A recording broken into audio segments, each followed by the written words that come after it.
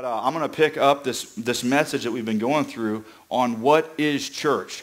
And uh, next Sunday is going to be the last Sunday that I talk about this particular subject, what is church. And the reason I believe it's important for us to define what is church is because a lot of, of, of us can come into this place and never be part of a church before. We don't know what it, it's for. Or maybe we've been part of a church for a long time and we're trying to define what does this really look like according to the New Testament? What does it really look like according to what the apostles did in the early church, right? So after the last two weeks of study, we developed this definition of what is church. I'm going to read it. The church is a community of people, a community, so it's a group, who each have a relationship with Jesus. So what does this mean to have a relationship with Jesus? I would encourage a couple of things. Relationship with Jesus means a life led by prayer, where we're talking to him, whether we're driving to work or we're waking up in the morning and we're praying, or in the evening before we go to bed, we're praying and speaking to him. A life led by prayer, communicating with the Father. And a life that is devoted to the study of God's Word, right?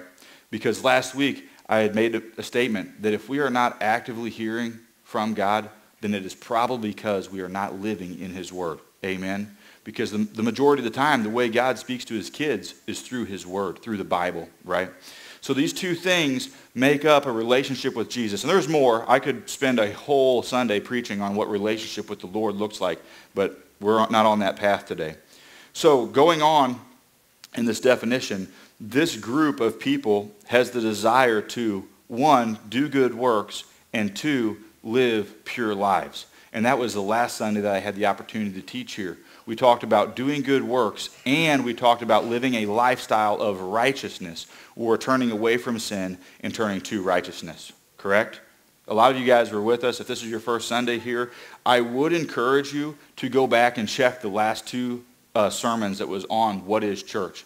They're on our website. You can go on there and click the Owensville campus. It'll show you all the messages that were preached in Owensville on our website. Um, so that'll kind of catch you up to speed because whenever I do these uh, sermon series, I'm usually trying to build on what was taught previously, right? So this morning, I want to give you a brief outline of what we're going through the rest of the morning. And uh, the, uh, the first topic I want to talk about is what is church? And then what is the purpose of the church, right? Because we've clearly defined what it is, but now what are we supposed to be doing? What's the purpose of this whole organization here on earth, you know? And um, I've laid out three, three ideas. Number one, the purpose of the church is ministry to God through worship, right? Number two, ministry to believers, that's us, nurturing one another and growing in faith. And number three, the purpose of the church is ministry to the world through evangelism, right? Now, evangelism can be a scary thought for a lot of us because we think that this is like street preaching. We are standing on a corner and we're preaching the gospel, trying to evangelize somebody. Or we're sitting on an, on an airplane, right, and we're trapped in this tube, this aluminum tube, and we have the opportunity to minister to somebody who's sitting next to us, right? We've all heard that story where the pastor is preaching to somebody on an airplane because they're trapped there, and by the end of the flight, the person has come to know the Lord, right? Has anybody heard a story like that before? And evangelism can be intimidating. And today I want to lay out a few points on what this church is going to be doing for evangelism that is not intimidating, and it's something that the majority of us, majority of us in this room can participate in. Okay, so the Bible talks about metaphors for the church. And uh, what a metaphor is, I want to go over some grammar real quick. A metaphor is a form of figurative language. Now, this is like seventh grade English, right? So don't fall asleep on me. But metaphors are a form of figurative language which refers to words that mean something different from their literal definition. In the case of metaphors, a literal interpretation would often be pretty silly. So I'm going to sing Elvis for you guys just to get the point across on what this is. Elvis Presley says this. He goes, you ain't nothing but a hound dog crying all the time. You ain't nothing but a hound dog and he sings this song, right? By the way, Evan, can I be on the worship team now? Come on. I earned a spot. I earned a spot. That's for them to decide. That's an audition right there. So anyways, this idea of Elvis singing this song of calling someone a hound dog doesn't mean they're actually a, a dog, right? It just means that this person is a whiny person because they're crying all the time. So he says something that's kind of silly. He's using figurative language to describe someone, right? So I want to talk to you guys about what the Bible uses as metaphors to describe the church. The Bible says that the church is a family, and it's a metaphor that is used saying, I should call older men fathers in the faith, older women mothers in the faith. I should call people that are younger than me sisters, treating them with all purity and respect. My friends and my younger brothers, I should call brothers, the, the men in the church. And it has this family dynamic of church, and it's a metaphor of what we're supposed to be doing, right? You guys have heard that in the Bible before, right? All right. The next one is the church is a bride. This comes from Ephesians 5. It's talked about in Revelation that Jesus is returning for a people that he is going to call his bride. Come on. In Ephesians 5, it says we're supposed to live pure and spotless as a bride who he is returning for. The church is a vine, another metaphor of describing the church.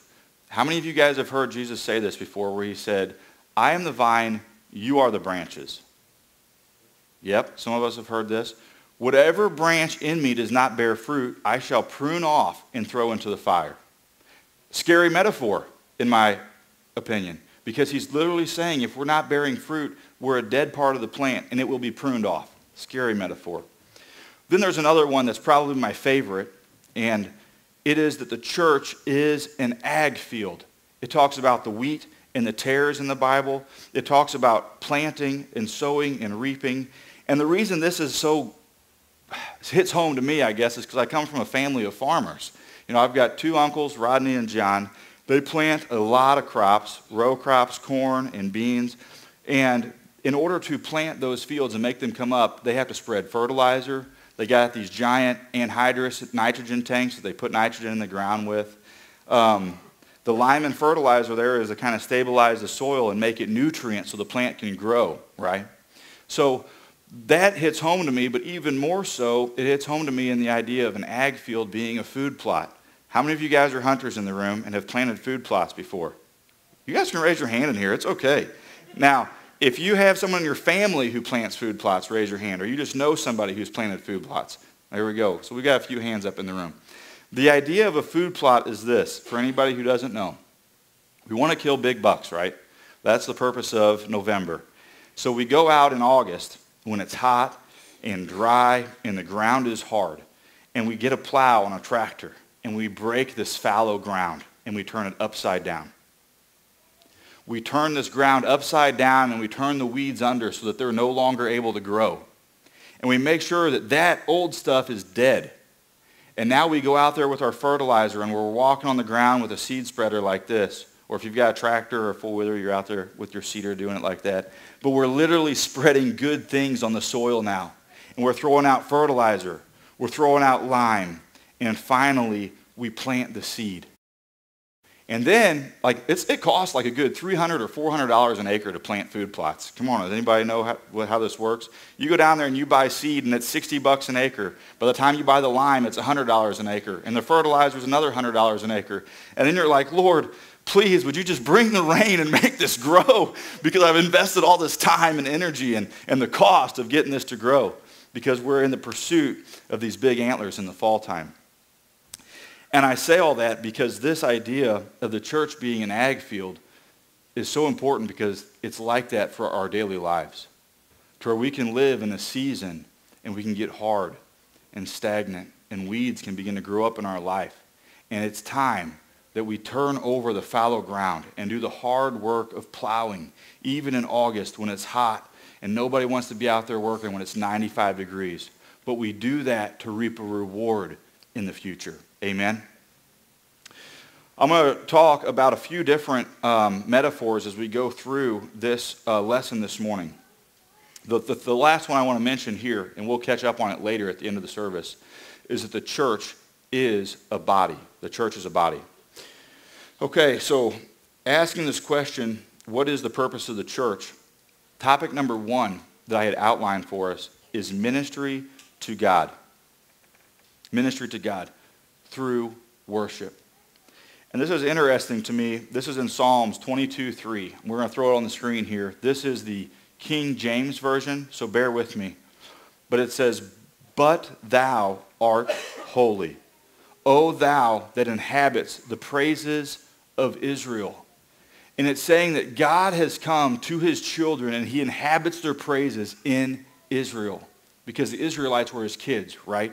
And if you read Romans, then the Gentiles are ingrafted in. And that means that God inhabits the praises of his people today.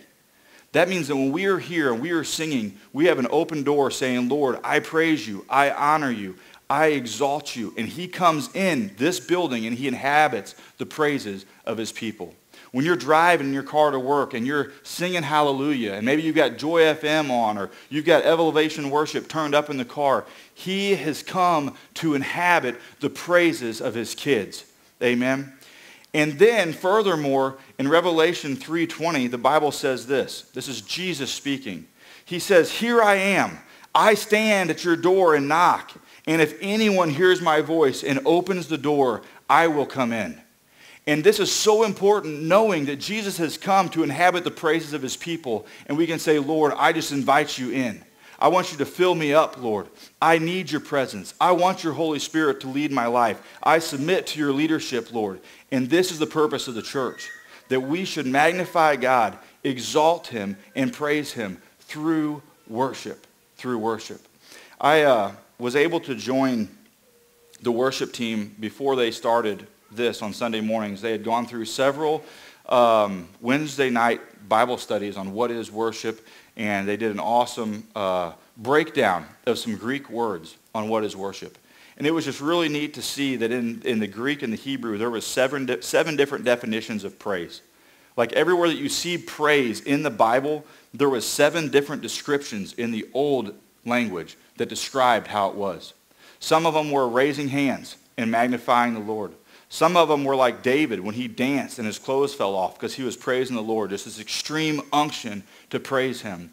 And I want to say that our responsibility as Christians, our responsibility of the church is to praise this creator God who has created the heavens and the earth. He is the Alpha and the Omega. He is the beginning and the end. And we cannot do anything except to say, Lord, I praise you. Holy, holy, holy is the Lord God Almighty who was and is and is to come. Amen. This is us, church. One of our purposes to praise and worship him. Paul actually directs the church in Colossians. This is Colossians 3:16. He says to sing psalms and hymns and spiritual songs with thankfulness in your heart to God. And then furthermore in Ephesians 1, he says that we are to live for the praise of his glory. We are, as people of God, to live to praise his name. Amen. Some of us, so much so that this is our calling.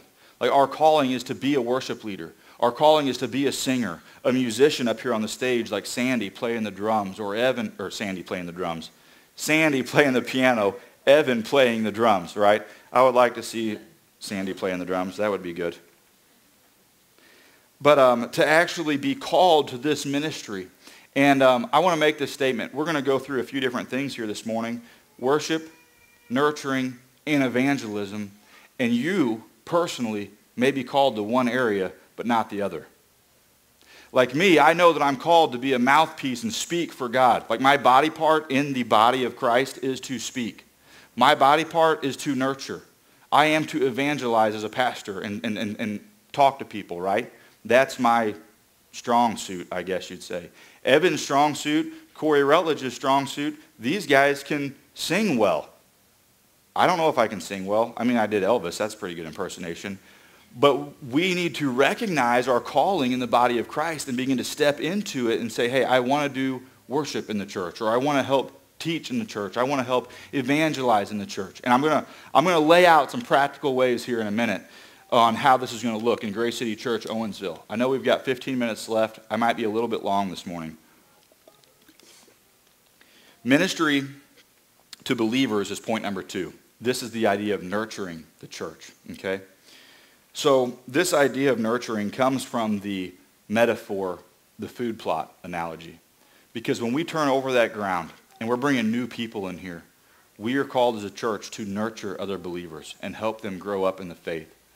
I am called to be spreading lime on you guys. I'm called to be spreading fertilizer on you guys, sharing the word of God with you guys so that we can grow and to be healthy plants and bear fruit like the vine that Jesus talks about. Amen? Who all wants to bear fruit in this place? A lot of us. That's good. So, I want to read this scripture out of 1 Corinthians 3, 6 through 9. And um, this is Paul, he's talking to the church of Corinth. And he says, I planted the seed. And what he's talking about in this church of Corinth, he's saying, I planted this church. When he came to Corinth, he rallied a group of believers together, preached them, taught them the word of God.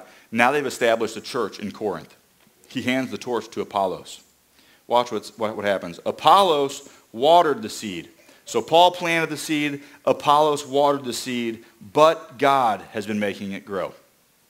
You remember when I got on my hands and knees a minute ago, I said, God, would you bring the rain on our food plot and make it grow?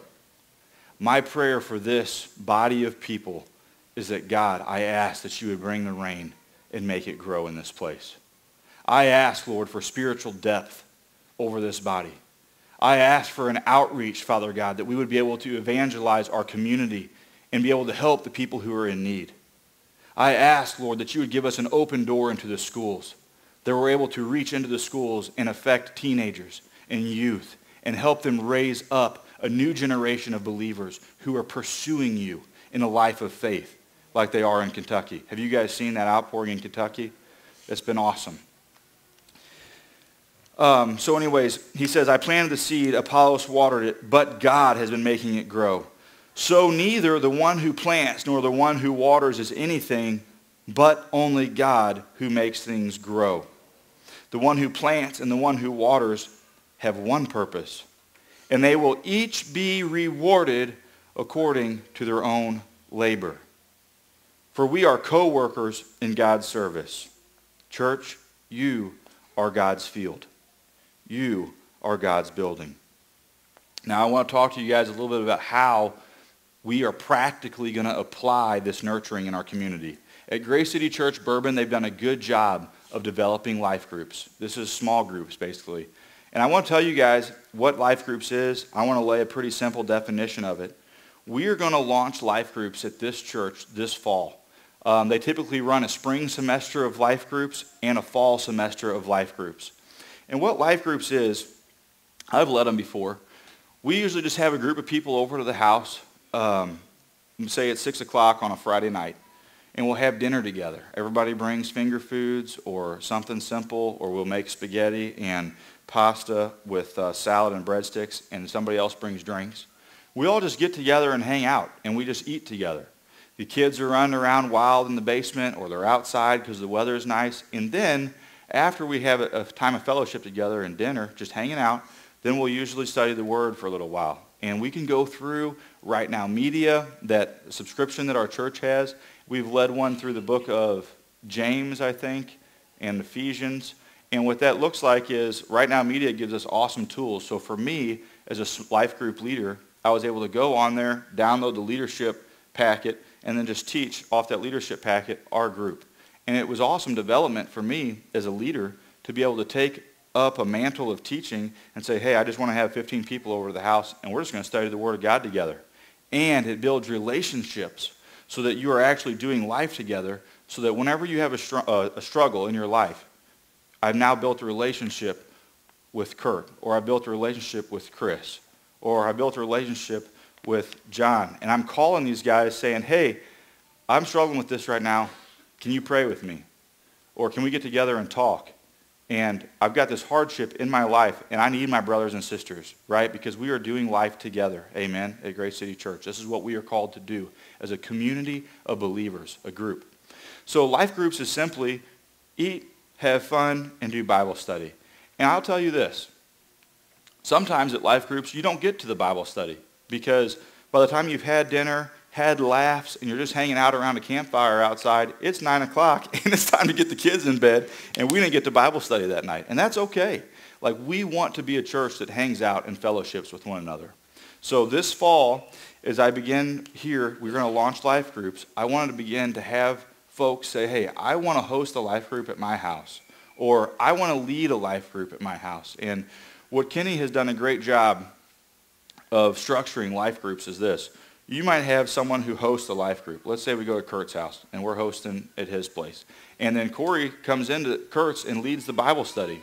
And that works great because then they have to clean up their house and I don't have to after life group's over with. But there's such a thing that Kenny did a good job structuring it this way is you have people who host and you have people who teach. So I just want you guys to be thinking about your place in the body. Maybe you want to host a life group. Maybe you want to lead a life group. But I want everybody attending life groups. Because when we attend a life group, that's where we really begin to build relationships with one another. And we get to know each other. And I, I learn what everybody's kids' names are. And it's great. It's, it's awesome to be that family. So life groups. This is the nurturing aspect of Grace City Church, how we grow and develop. Sunday mornings can also be considered nurturing, but I think it's great whenever we, as a family, get together and have a group of 10 or 15 or 20 people doing church together. Because in all seriousness, guys, the early church met in homes. They met in people's homes and they just get together and hang out and have food. That's what it was. In America, we have made church all about this Sunday morning experience instead of actually understanding that it's more about a relationship level of knowing your brothers and sisters, going through life together, and studying the Bible together. Amen? So that's life groups, nurturing.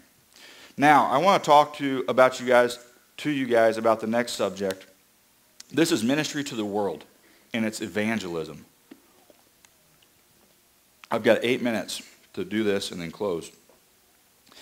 And I want to talk to you guys about evangelism for a minute. Because like I said earlier, evangelism can seem daunting and overwhelming. But what Jesus tells us that we should do is to make disciples of all nations. That means Owensville, Missouri. Amen. It means that we should make disciples of all nations. This work of declaring the gospel is the primary ministry that the church has towards the world. Yet, accompanying the work of evangelism is also a ministry of mercy, a ministry that includes caring for the poor and the needy.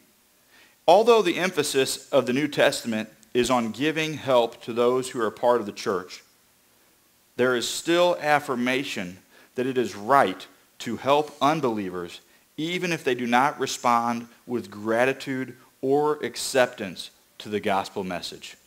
Now, this is a cool thought because we have the hand-in-hand box to help those who are within the church.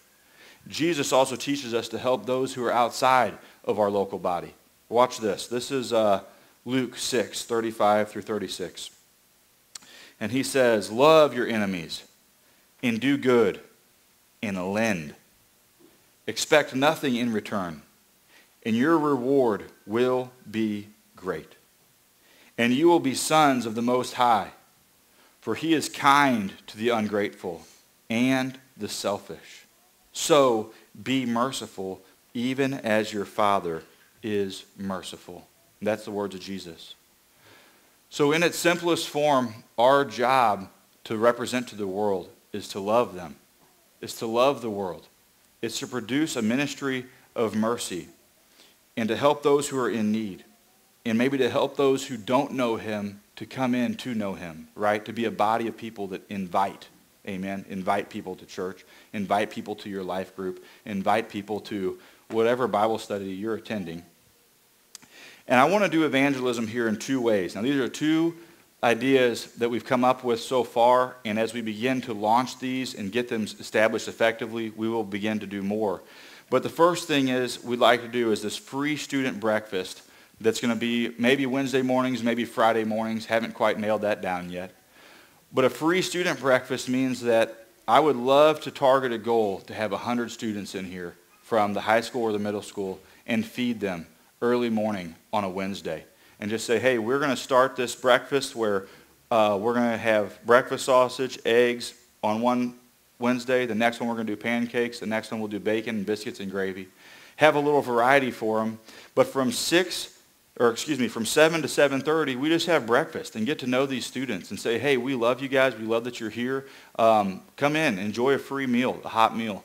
Um, the more I got involved at, at Life House in, in Sullivan, just a, a, little bit when they first established that uh, ministry over there. Life House, if you don't know what that is, is basically a free open house for kids to come after school. They can get tutoring, they can play games, they've got video games, they've got foosball, they've got pool. And I will say that there are a lot of kids that are teens and middle schoolers that live in very unfortunate circumstances. There are a lot of students that have a way harder life than you and I ever had. And that they are in a pivotal point in their life to either say, I'm going to choose this road or I'm going to choose this road. And I want to be the body of people that introduces them to the right road. Amen. And here at this place, what we're going to do is start the student breakfast. And in all seriousness, I just need some people who want to cook food for these kids and, and say, hey, I want to come be a part of this ministry. And at 6 a.m., I'll be here and I'll get the, the what do we have? Uh, my buddy donated a Blackstone grill. So this Blackstone grill we've got back here in a box, we'll roll it outside. We'll throw eggs on it and cook it. Another buddy of mine just donated a, a hog, and we've got a freezer and a half full of breakfast sausage. Praise God.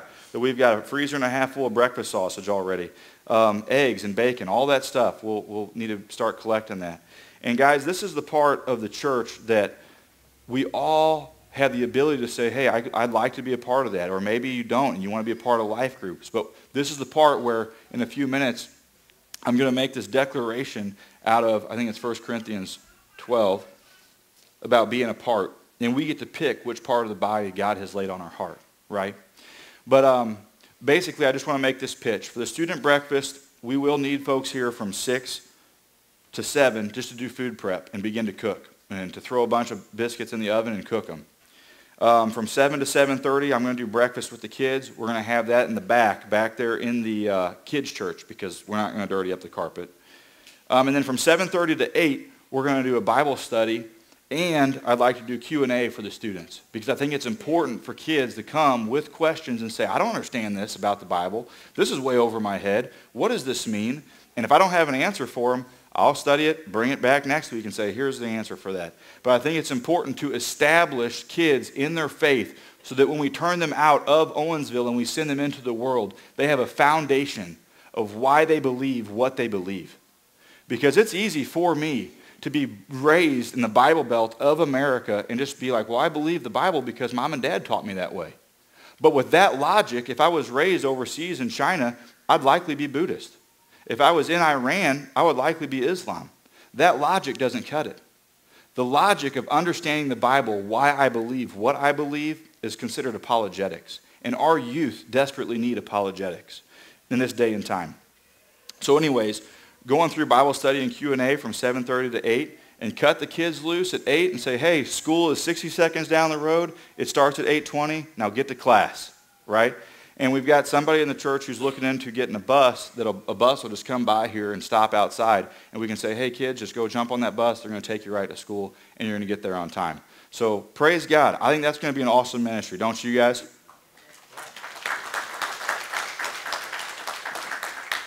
The second way that we want to evangelize to the world through Grace City Church is this.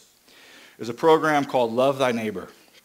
There's a guy I know in Viburnum who's doing this with their church. I think it's First Baptist in Viburnum.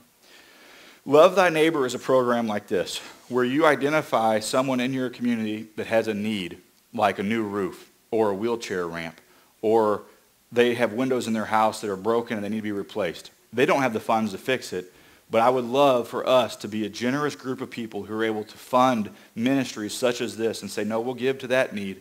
And then we're able to go out as a group of guys and say, let's throw shingles on this roof and shingle this house for people. Love Thy Neighbor was started down there, and it has exploded to where now it's a week-long event in the fall where they knock out multiple things. They'll do wheelchair ramps, they'll do roofs, they do all kinds of activities. Last week, Shay emailed me and said, hey, there's a lady in Bourbon who emailed our church and said that she went and had a surgery done, and um, long story short, she's now paralyzed because the surgery didn't go well. And she needs a wheelchair ramp at her house, but she's so covered up in medical bills that now she can't even afford to build a wheelchair ramp, nor can she build one because she is immobile from the waist down, right?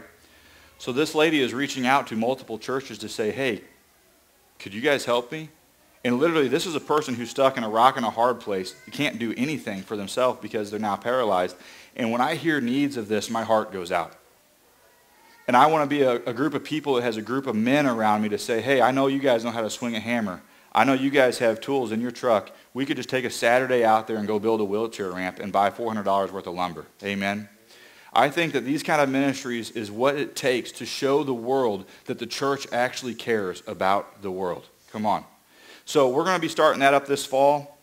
Love thy neighbor um, to where we are actually going to take up like a special offering at some point and say, hey, we've identified this need in our community and we are going to go do this as a group of dudes. I mean, hey, girls, if you want to swing a hammer on a roof, by all means, come join Love Thy Neighbor. But it's probably going to be dirty jobs. So it's going to be fun too. Like, I mean, we'll grill pork steaks and stuff while we're there and have a blast with it. So, and usually these types of things, so I've been on mission trips before, right, where we've gone a long ways away from home worked hard, fixed people's houses, done all this stuff with hurricanes and whatnot where people are deeply impacted by the weather. And when you get done with a mission trip like that, you feel so like fulfilled. Like, man, this is what we're supposed to be doing with our life. And I want to bring that to our community. Not just where we're doing evangelism overseas, and it's important, right? It is important. We fund four different missionaries through Grace City Church. But I want to do that stuff here. So, um, Corey Rutledge, if you're here, I want you to come up here for a minute. Um, I want to talk to you. Oh, he's here already. Okay. I didn't know you'd be that fast, so bear with me. I was expecting him to have a 30-second walk from the back. I want to talk to you guys about this and raise a question. So who's going to do all the work that the church wants to do? Like the church wants to start life groups, like five or six life groups, and have 10 or 15 people in each life group. We want to put roofs on people's houses when they're desperately in need we want to do a student breakfast and get these kids plugged into their Bible. But can the pastor do it all? Like, can me as one man take this mantle and do everything myself? It would be impossible for me to do church on Sunday, lead every event, and then go home and expect to be a husband and a father and completely have balance in my life. So as a church, I'm just going to ask, what do we want to do as participants in this? Because I looked up some facts this week. And the average tenure of a pastor, which means his average length in ministry, is three to five years. Because pastors' jobs are usually high demand with tons of responsibility and a lot of pressure. They can be very underpaid for their work, which can lead to burnout and stress. And I'll be honest, I make $250 a week doing this, you know, here at Grace City Church. Um, and anyways, that's on a different schedule. But uh, just to talk about like, can one man do everything here? It's not a possibility. And as the body of Christ, we are called to be the body. You can come over here, brother. And I want to take a look at Corey's body here because um, he is the perfect embodiment of a man, right? Uh, no. So me and Corey, we're both, we're, this is two Corys up here, so this is cool. Two Corys. We both have receding hairlines, like we kind of have the dad bod going on even though I'd say it's a dad bod, it's more like a father figure, right? Come on. It's, a father figure, not a dad bod. But I want to read this message to you guys up here out of 1 Corinthians. It says, just as a body, though one, has many parts, but all of its many parts form one body. Okay, so Jesus is teaching us about anatomy. The church tells us that Jesus is the head, and he instructs the church accordingly. And Corey has an arm here. He's got a hand, fist, finger, a foot, a mouthpiece. And on this body, we're called to identify which part we're supposed to be, right? This is the call of 1 Corinthians 12. And I've been talking about it for three weeks, but today we're illustrating it and we're actually reading the passage. It says, this is how it is with Christ. We are all baptized by one Spirit so as to form one body. This is the church. Whether Jews or Gentiles, slave or free. That means everybody's included. And we are all given the one spirit to drink. Even so, the body is not made up of one part, but of many parts. So now, if the foot should say, because I'm not a hand, if I do not, be- I do not belong to the body, it would not be, for that reason, stop being a part of the body. And if the ear should say, because I am not an eye, I do not belong to the body, it would not, for that reason, stop being part of the body. And if the whole body were an eye, where would the sense of hearing be? If the whole body were an ear, where would the sense of smell be? But in fact, God has placed the parts in the body, every one of them, just how he wanted them to be. So God's placed assignments on each and every one of us. And I will say it does take boldness. It does take courage. It does take faith to be like, God, I see what you're wanting me to do in my life. And now I'm going to step into that responsibility. I want to be your hands and feet. I want to be a part of your church. And he says, if they were all one part, where would the whole body be? As it is, there are many parts, but just one body. And now you, church, are the body of Christ. And each and every one of you is a part of it. Thanks, man. So Christ, being the head of the church, we are his body, of which he is the Savior. So I'll make this pitch to us as a group of people, of believers. In the fall, we need to raise up life group leaders, folks who want to teach the Bible. And it's not complicated. The, the, uh, the software that we have at church, the uh, Right Now Media, makes it super easy to lead those groups. We're going to need help thy neighbor leaders, guys who know how to swing a hammer, and guys who know how to put together lumber. Youth breakfast, cooks, and cleanups. Like we'll have that going on for a while. And maybe you can't meet the whole time, but you could just come in and cook for 30 minutes. Or you could come in at the end and just clean up the church afterwards. Whatever that looks like for you, I want you guys to come see me at some point over the next couple of weeks and say, hey, you talked about that certain ministry and I want to do that, so just plug me in there. And I'm going to start making lists of people who want to serve in different areas of the church. Kids church leaders. What we've got going on in the back is awesome. I don't know if you guys have, have seen that, but raising up our kids, including my own, to understand the Bible is so important for the next generation. Um, nursery leaders, to be able to have a place where, and I'll, I'll give you a small background because we've already over six minutes, but it, I know some friends of mine who would love to come to church, but they don't like to go because their kids won't sit through a church setting. They get kind of um, rambunctious. And the ability to provide childcare back here is so important because families who are in that setting can now come in and say, hey, if you could watch my rambunctious kids for an hour or whatever, then I can attend church, right? And this is actually providing growth in the church. So I would encourage you, if you want to hold babies or if you want to lead kids church and teach the kids, I would encourage you to sign up for that. You can see myself, you can see Ashley, and we'll get you plugged in. I had a testimony to put in here um, but it's probably a 20-minute testimony, so we're not doing that. And um, I want to close. Um, so at the end here, I'm going to pray, but this is a time of communion. So whenever the worship teams begin to, begins to, to lead us, this is a time just to get before the Lord. You partake of his blood, partake of his body, and remember him. And this is a moment for us to reconcile our hearts and reconcile our minds and say, God, I know I messed up this week. And here I am once again before you, just saying I'm going to set things straight. And I repent, and I'm going to turn to you once again. And after a message like this, I would even encourage you to begin speaking to him and just talking to him like a dad and a son. And say, Dad, where would you want me to lead in your body? What part would you have me to do in this place? Maybe it's the parking team. Maybe you just want to pass the buckets, you know, to take up offering. Whatever that looks like, I want us as a body to get plugged in here. So you guys can take up communion. I'm going to invite you up here for prayer. If you're going through any stronghold or struggle in your life, maybe it's divorce, maybe you got kids who need prayer, maybe it's a health issue. I'm going to stand up here, and you're welcome to come up, and I will pray with you at the end of this service. Um, so let's just pray right now. Father God, we just thank you, Lord, for your presence. We thank you for being here, God. I thank you for people who um, want to be here and just want to do your work, Father God, in this community, in this place. God, you are holy. And we just invite you to inhabit the praises of your people this morning because you stand at the door and knock, Lord. And I open the door to you this morning and just say, come into my heart. Come into this place. Instruct us, God. Open our ears, open our eyes, Lord, to the things of you. Help us to grow in depth, in maturity, in knowing your word. Help us to develop lives of prayer, lives of praise, lives with fasting and spiritual maturity. God, we honor you in this place.